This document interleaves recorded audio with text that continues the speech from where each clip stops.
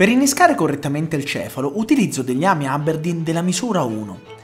Buco il cefalo vicino alla coda, superficialmente, facendo scorrere l'amo e il filo, e poi lo innesco di nuovo vicino alla testa, con la punta rivolta all'indietro. Quando la spigola mangia, infatti, ingoia sempre il pesce dalla testa.